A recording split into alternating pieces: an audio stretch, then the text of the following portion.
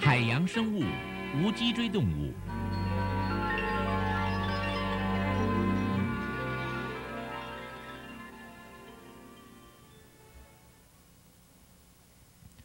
是生命之乡。在地球上，生命的起源是在三十亿年前。然而，最早出现的却是无脊椎动物，例如水母这一类无脊椎动物。现在，我们就来介绍无脊椎动物的身体构造，以及它们有趣的生活形态。接下来的每一个画面都是在介绍无脊椎动物的分类与其生活习性。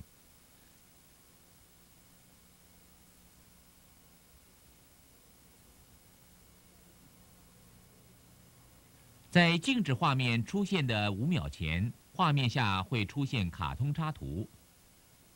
想看静止画面的人，可在插图中的小鱼被吃掉时停止画面，用慢镜头观赏。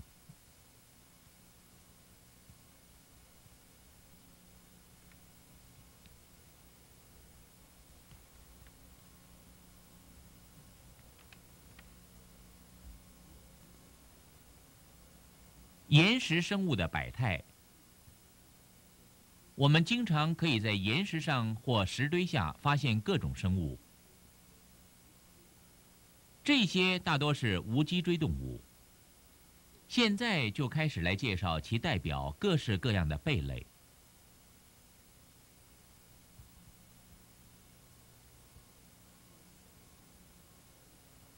在岩石下，经常可以找到一些卷贝或二枚贝。接下来要介绍的是这些贝类的代表。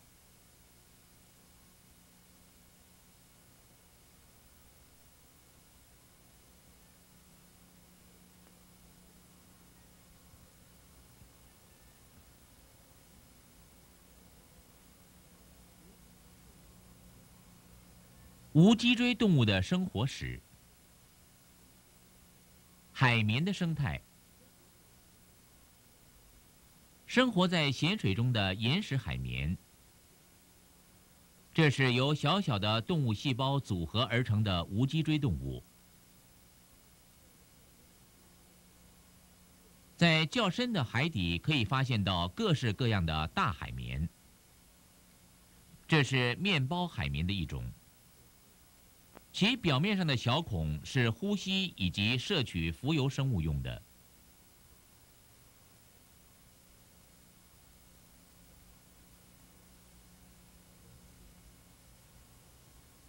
我们接下来看看。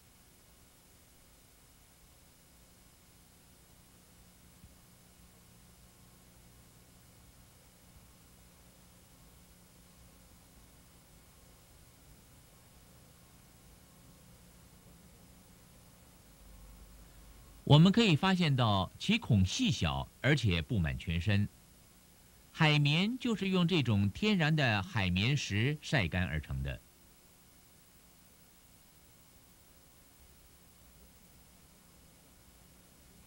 直径二三十公分、呈倒杯形状的仙人掌海绵，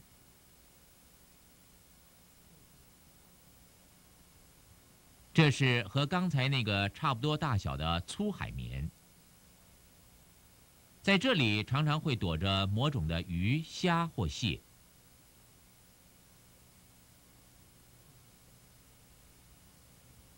这是水母，其伞的直径大约有二十公分，身体呈伞状。在水中飘来飘去的动物也叫做海蜇。海蜇又可分为伞海蜇和线海蜇。伞水母有伞和摄食用的触手，以及取食入口的口碗，嘴和胃腔是相连在一起的。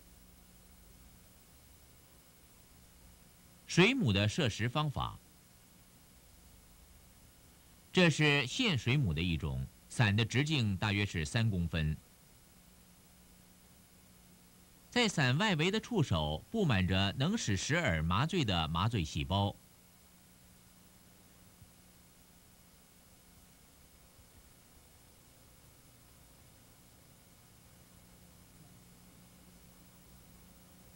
小生物如被其触手接触到，就会不得动弹，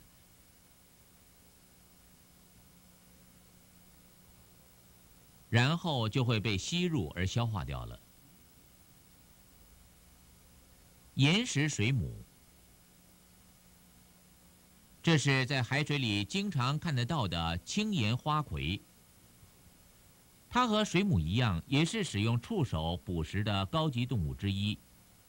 其身体的构造基本上大都和海蜇一样，在头顶上的触手是呈放射状排列，中央部位是嘴，在它身体的最内部是胃腔，这种圆形的胃腔又叫做肿包。我们来看一看它摄食的样子，它的触手也可以伸出藏有剧毒的针，使食饵不得动弹。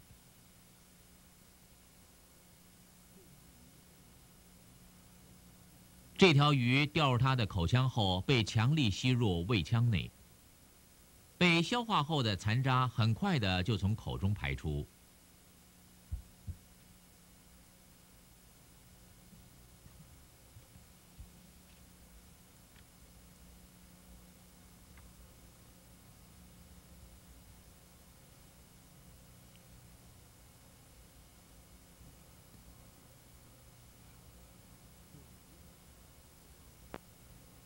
水席的伙伴，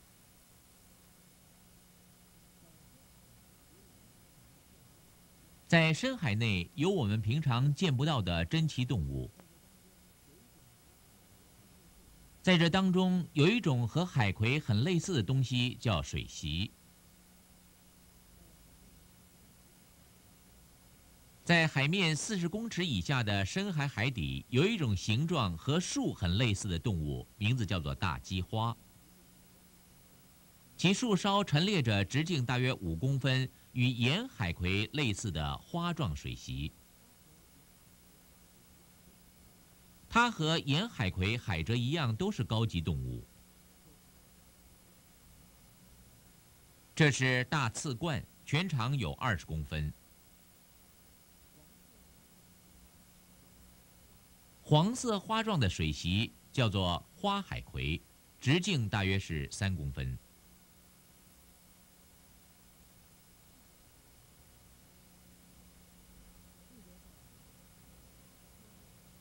附着在岩石上，鲜艳的黄色、红色生物，这些大多是水席的同类。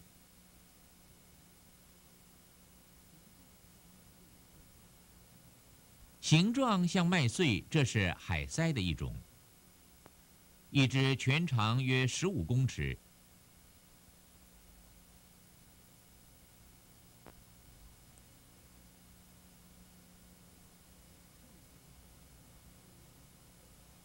这里是大西洋帛琉群岛的海底，水深二三十公尺到百公尺，有一大片的花状高级动物形成的花圃。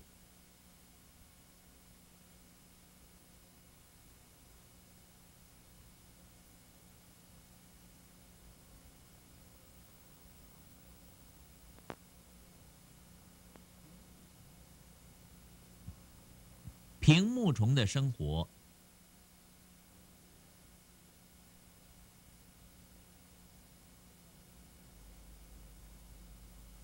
在浅海底的岩石下，有一群不惹人注意、很平静的生活着的海底动物。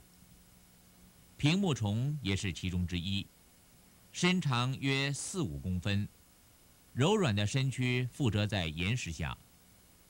有时会像这样扭曲着身体漂浮。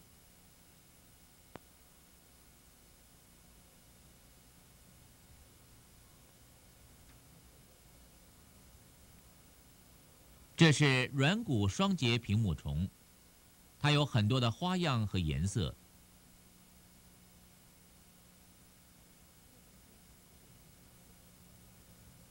这其中也有像飞鹤、比目虫一样活泼悠闲的漂游着。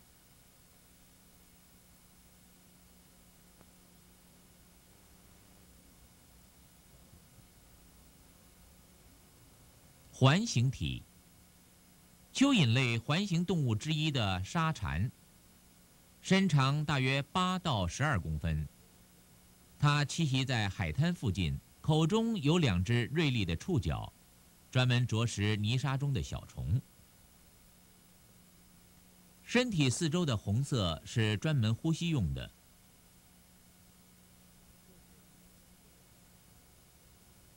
这是环形动物的同类青沙蚕，身体大约十五公分，头部有很多的触丝，口中有两只大钩牙。这是专门用来摄取浮游生物的。身体后部有长毛的脚，可以在沙滩上步行。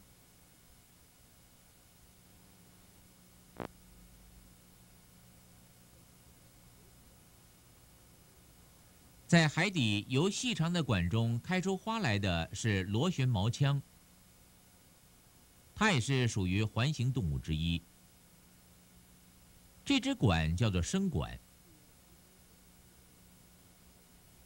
是由皮肤分泌出来的粘液所构成的。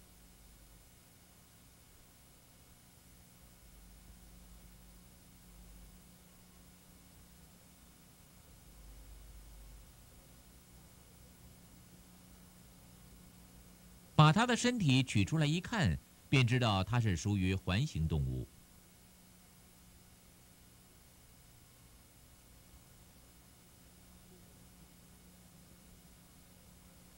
这种像花的草叫做深管，是专门用来呼吸和摄食的。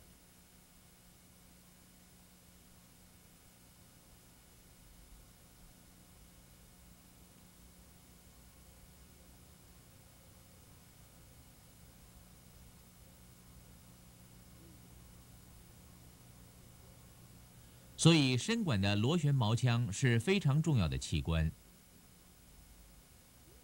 隔离文革的生活，隔离文革是属于我们生活中最亲的二枚贝。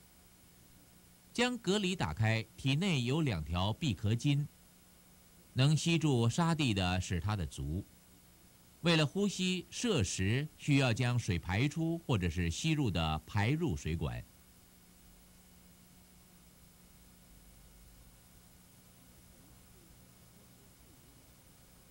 它的足是由能伸缩自如的软肌肉构成的，所以能够插入沙地内，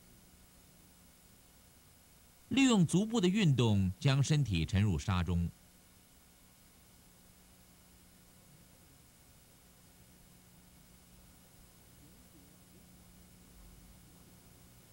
文革如果生活环境不适时，会走出沙地。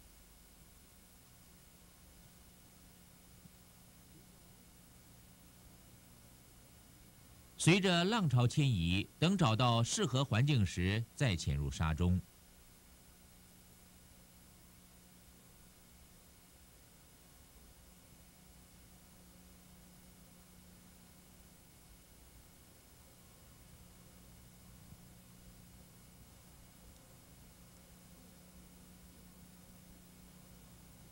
二枚贝中有的也会游泳，毛贝就是其中之一。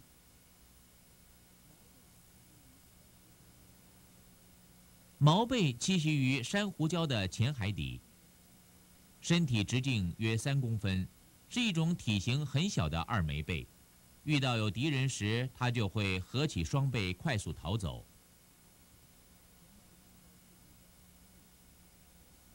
从前面的入水管吸入水，再由体内的排水管一口喷出。借着水的推进，潜逃时就会像鱼一样的游泳。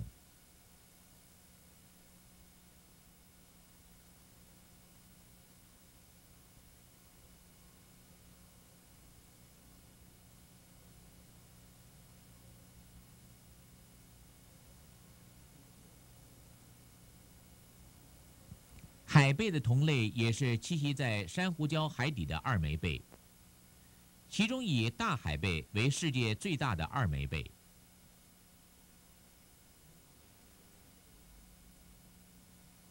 它潜在珊瑚礁间的沙地里生活着，以它的大水管来进行吸水、排水、呼吸。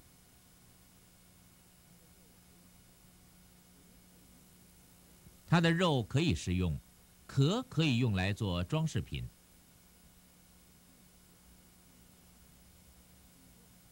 大的壳长大约有一公尺，体重则有两百公斤。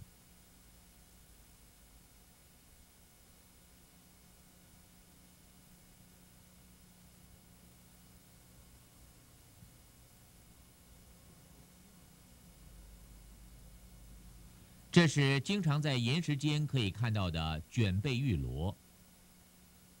从下面来观看它的走路方法，我们可以发现到它是边走边吃水中浮游生物，像吸盘的足吸住海底，以伸缩方式向前蠕动。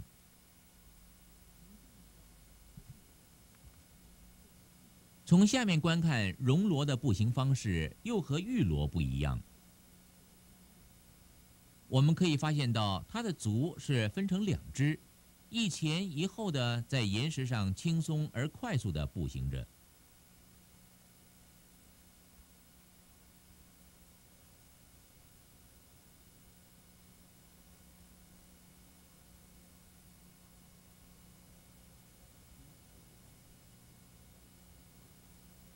与鲍鱼外形很相似的小型九孔，它经常附着在浅海的岩石背后。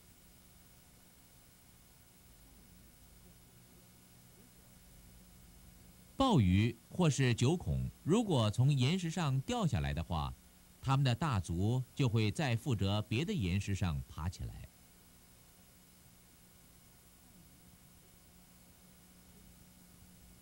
鲍鱼比九孔大很多。身体直径大约有二十公分，它比九孔栖息在更深的海底，大约是二十公尺以下。在白昼里，它是静止不动的，夜间才开始出来觅食。将鲍鱼翻过来看，只可以看到它那只大足在动。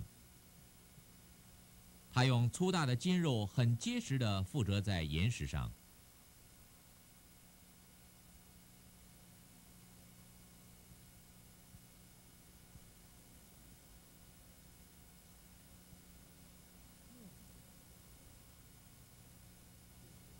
墨鱼的游泳方式。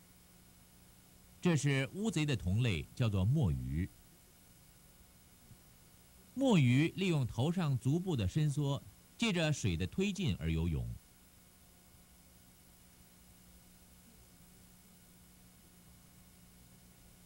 借着水的推进，自由的在岩石间漂游，摄食小鱼或小虾。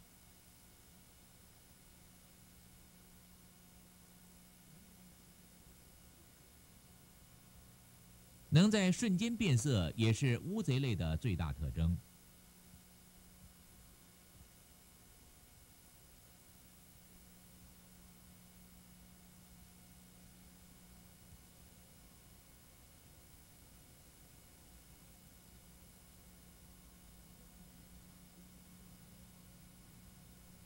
章鱼在无脊椎动物中是运动能力最发达的。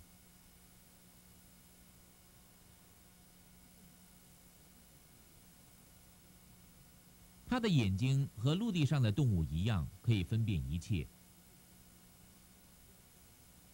它那圆圆的头部里有呼吸、消化等各种器官。外表的皮肤也可以像这样来改变形态。章鱼的嘴是在它那八只足的中央，拥有很结实的牙。在头部有鳃，可以伸缩外套膜吸水呼吸。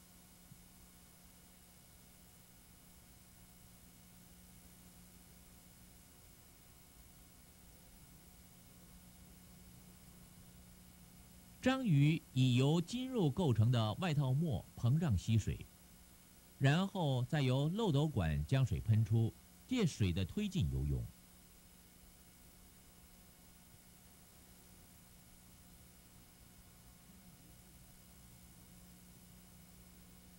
章鱼借着快速游泳逃避敌人，或做长距离的移动。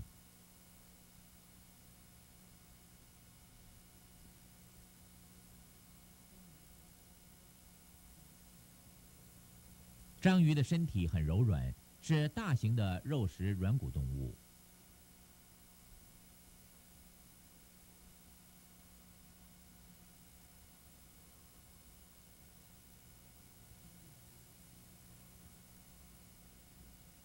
它遇到危险时会躲进岩石间，将皮肤改变与四周同色，使它的行踪不易显露。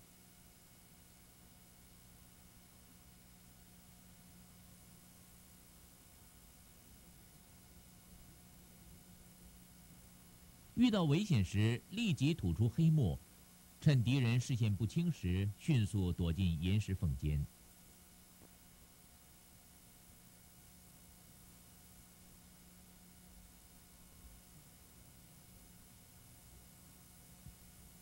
在这个章鱼的巢内，雌章鱼正在保护它的卵。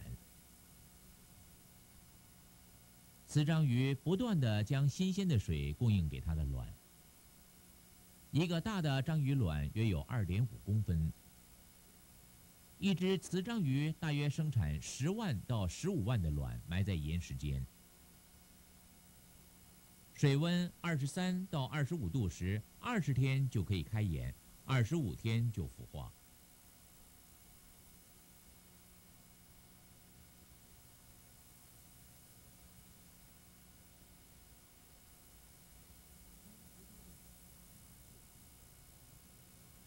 刚孵出的小章鱼就已经长齐了八只有吸盘的足。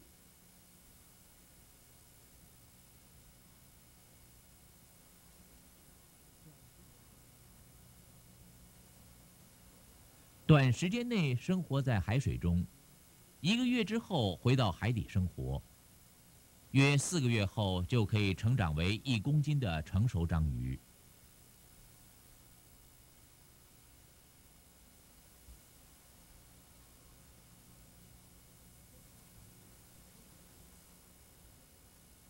生化石鹦鹉贝。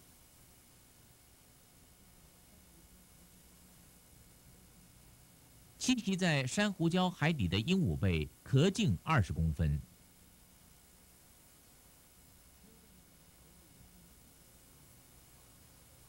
因为它的头部像鹦鹉而得名。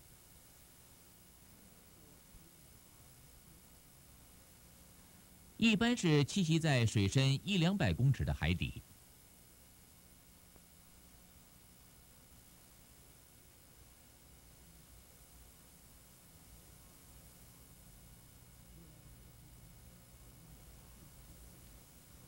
为了摄食鱼虾而拥有数十只触角和一对感光的大眼睛。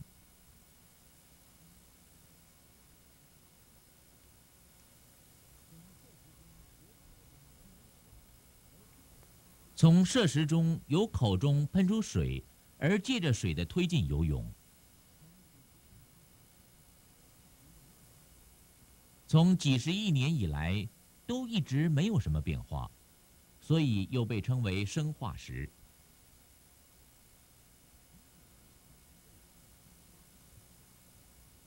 鱼海牛在伊豆滨沿岸经常可见，身长二三十公分的软体动物，在头部有一对大头触角和一对小触角，身体内有胃、鳃、肠，背后有壳。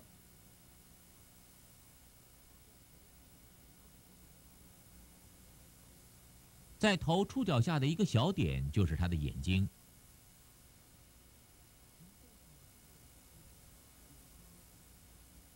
从背上的分裂处吸水，而由鳃进行呼吸。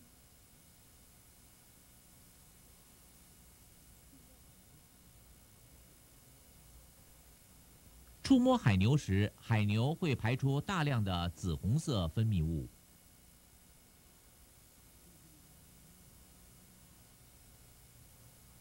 这是一般常见的亚麻草海牛。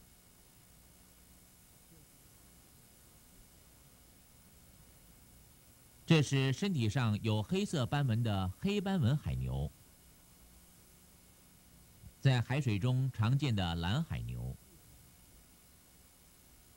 通常海牛头上都有一对触角，在身上则有一个能伸缩如花朵般的鳃。这是公海牛，它的鳃呈复杂的形状。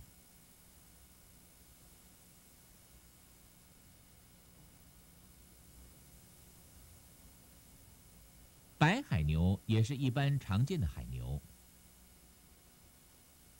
这是岩石海牛，这是海母海牛。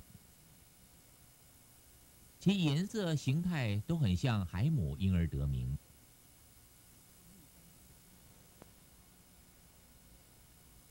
绿斑点海牛、繁条蓝海牛，这类海牛背上都有条形的鳃，这鳃充满了摄食所用的麻痹细胞。如果遇到敌人，它就会用这麻痹细胞使敌人麻痹来保护自己。这是海牛的一种，红色边毛海牛。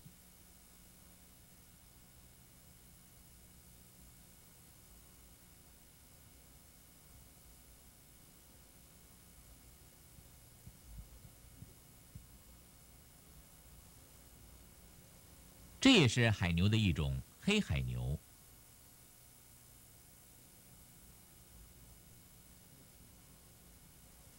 海牛的足非常的柔软，可以一伸一缩向前进。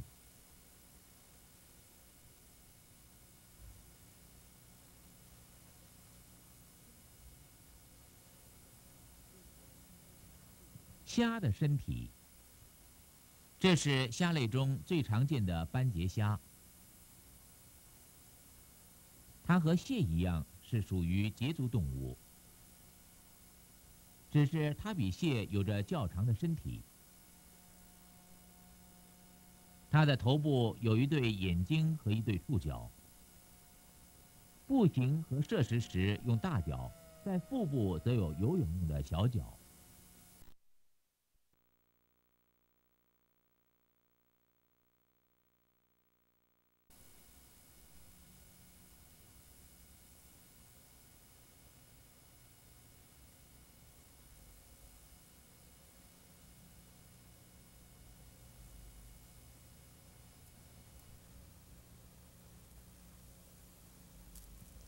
栖息在较深海域岩石边的大型虾龙虾，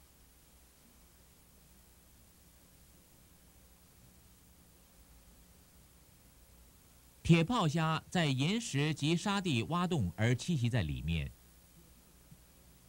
身长只有四公分的小型虾，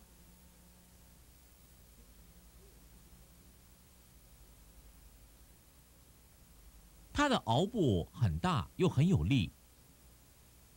剪断东西时会发出响声，所以才叫做铁炮虾。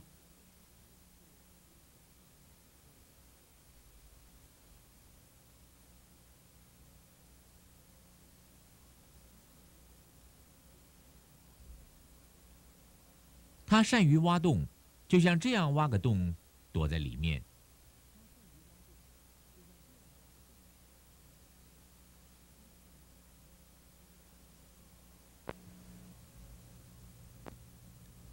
寄居蟹，这是梭居蟹，也是寄居蟹的一种。寄居蟹和蟹虾一样，是属于节足动物。它寄居于卷背内，以代替内层坚硬的外壳保护身体。它有一对复眼，一对很长的触感须和一对大钳子。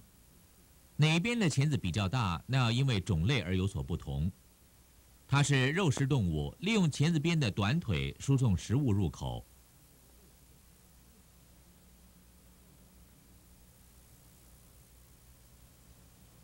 要将寄居蟹拉出卷背是不容易的那是因为它腹部有一只腿会紧紧的抓住卷背的底部。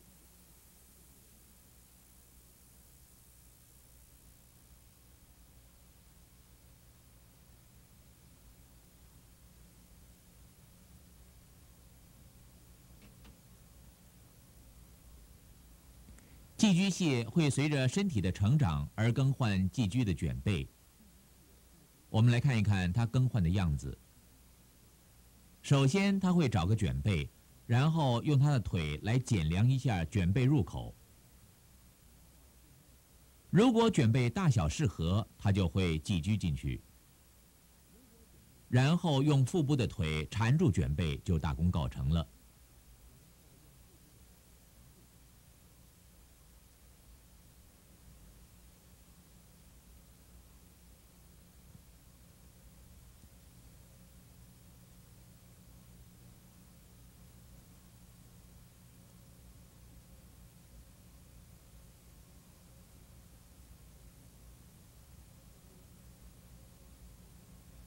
椰寄居蟹，夜间在岛上的椰树上常常会发现到。像这样的椰寄居蟹。椰寄居蟹爬上椰树后，利用大钳子剪开椰子，食用椰肉。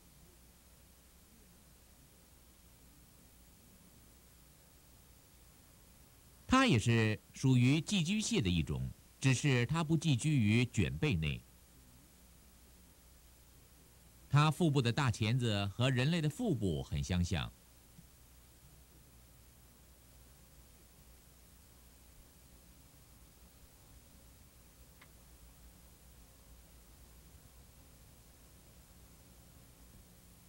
像这样，它也能用大钳子来走路。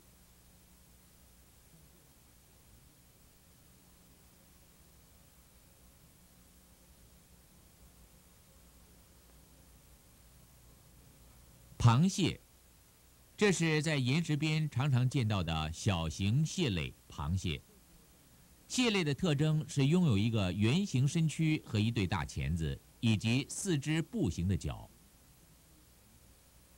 头和胸部较大的是雄的，较小的是雌的。腹部中央呈三角形的是雄的，呈圆形的是雌的。雌的腹部内侧会抱卵，保护着卵。其身体内部有胃、生殖腺、心脏以及鳃等内脏器官。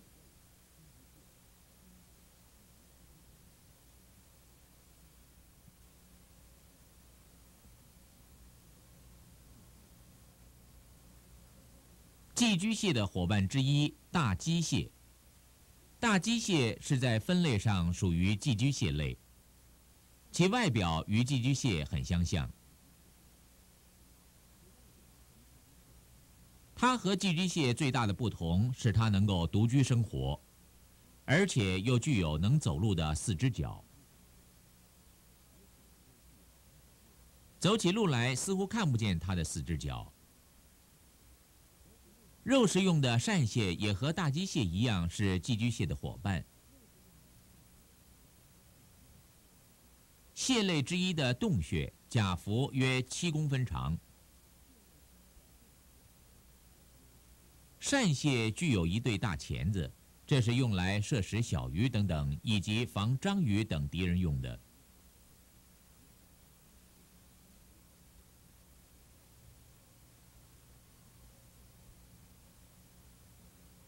我们让他夹小鱼看看，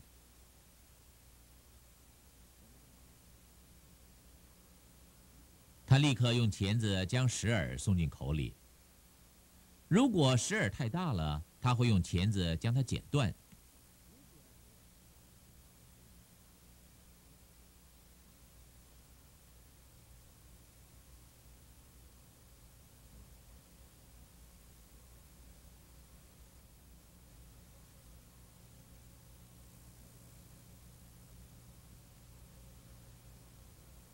它的钳子也能够像这样用来清洁嘴巴的四周。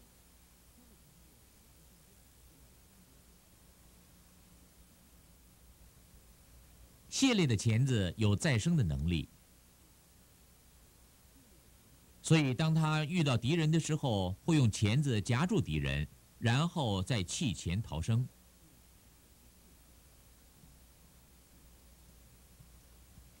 栖息在南方岛屿海边岩石间的大螃蟹，这是角腹蟹的一种爬蟹。在南方岛抓到的爬蟹非常大，有巨无霸之称。它是一种肉食用的蟹，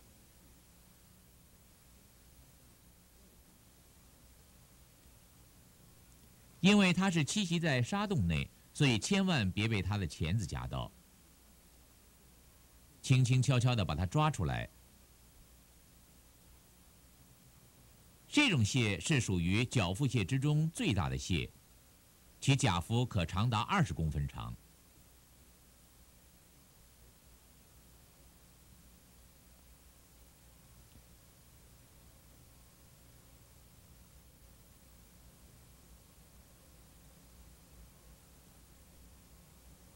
这是栖息在浅沙滩中。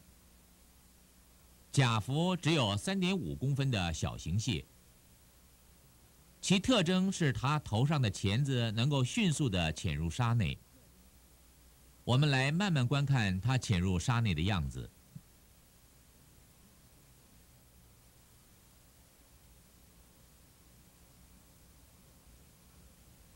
这种招潮蟹只露出一对眼睛游泳摄食。这时候又迅速地潜入沙内躲起来。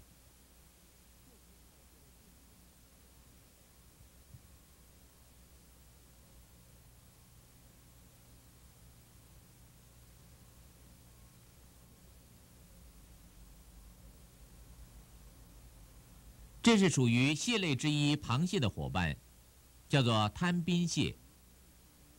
其特征是擅长潜沙。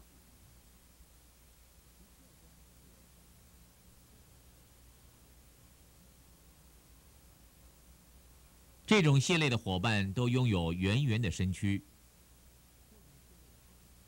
拥有一对钳子，走路脚向内侧横行是其特征。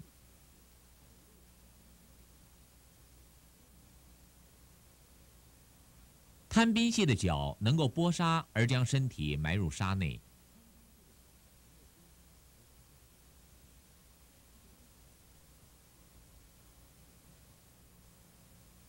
这也是滩滨蟹之一，名字叫做圆背蟹。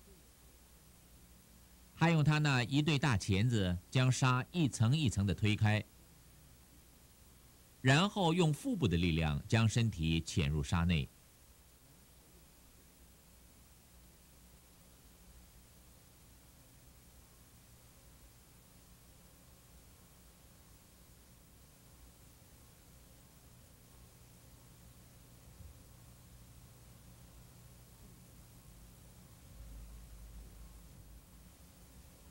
渡蟹的一种宽背蟹。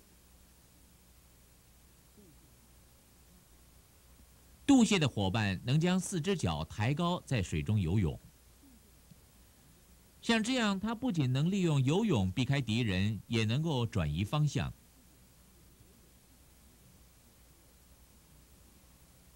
因为它游泳时改变方向，所以才取名为渡蟹。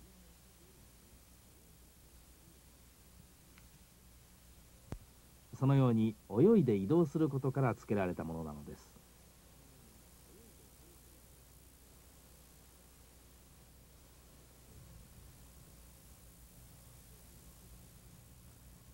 这是世界最大的螃蟹，名叫鲻。鲻是栖息在大西洋最大的鲻，其甲幅长达三十公分。 如果把它的脚伸展开来，可长达三公尺。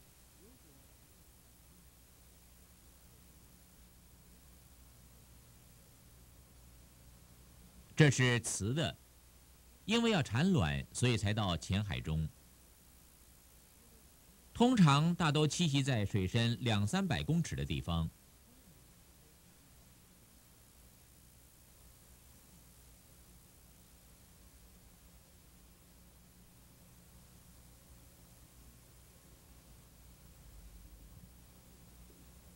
这是一个很珍贵的产卵瞬间镜头。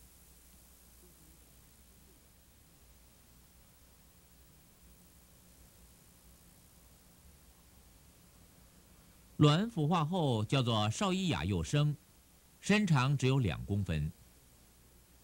几千万的绍伊亚幼生，只有少数能够长大成为世界最大的螃蟹。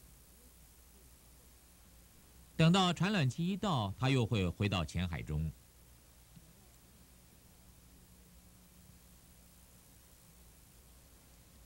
海胆，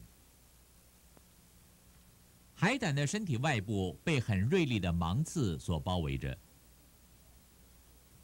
其体内的构造是生殖器、肠以及由鹅板构成的牙等各种的内脏器官。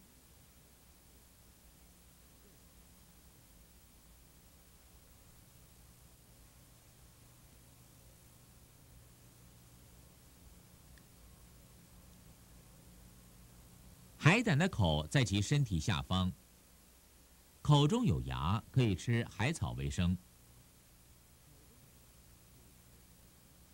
这就是海胆的牙。其管足有吸盘，是用来走路的。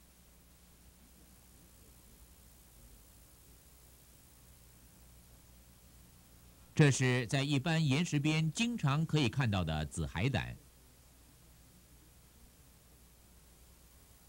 红海胆的芒刺比紫海胆较短，身体也小一些。黄海胆的芒刺比较短，身体呈圆轮形。把岩石翻开来，附着在岩石下的小型海胆是卵海胆，芒刺很小，身体是圆形的。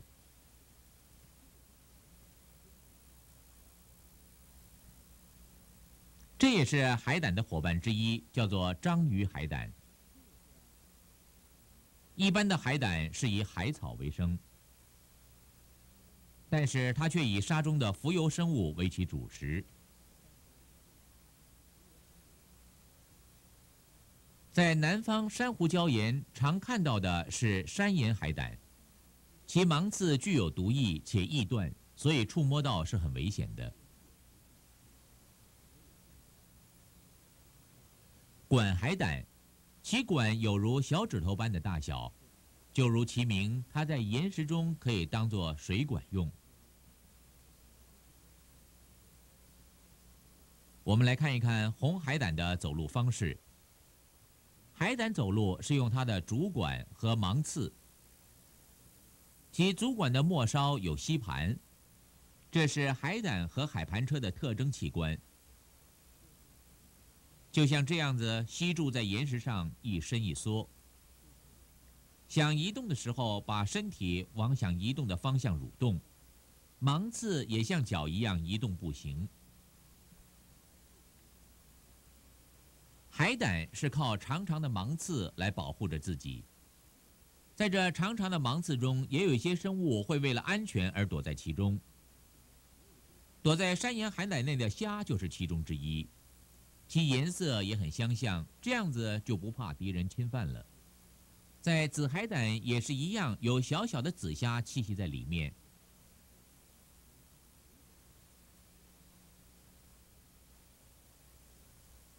五角海胆也有一种蟹栖息在它的芒刺中。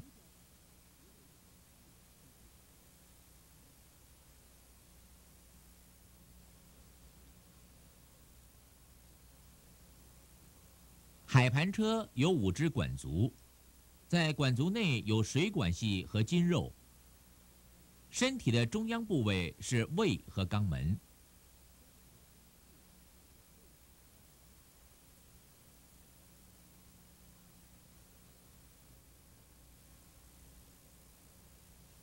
在管足的末梢有被称为眼点的红色线，可以感光。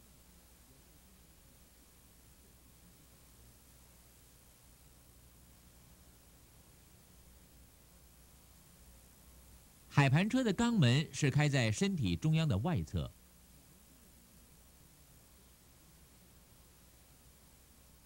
在其管足中央有个口，口的内部是胃。当它步行时，前端的吸盘就和章鱼一样步行。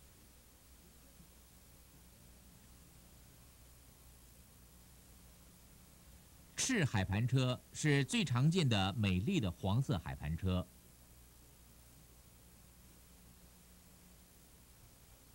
这是在浅海中最常见的海盘车。栖息在浅海中的墨海盘车，其管足很粗大，是很强壮的海盘车。栖息在沙滩的比目海盘车，在南方的珊瑚礁海中也有各式各样的海盘车。这是其海域中最大的白管海盘车。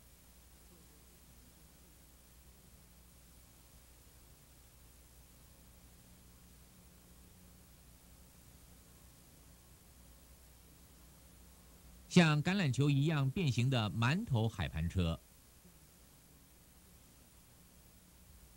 其背后的身体构造成人字形。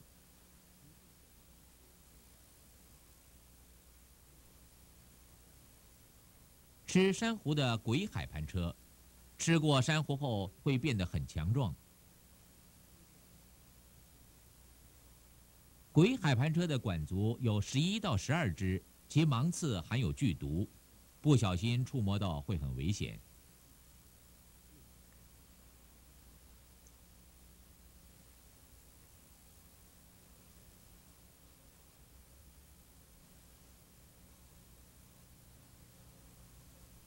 海盘车用含有吸盘的管足吸住岩石步行。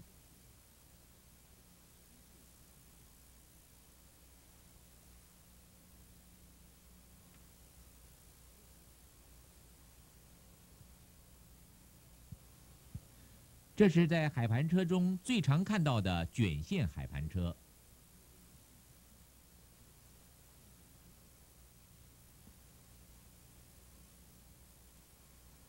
其一般的步行方法是将管足伸往要移动的方向，再拉起身体一伸一缩往移动的方向前进，将很多的管足往。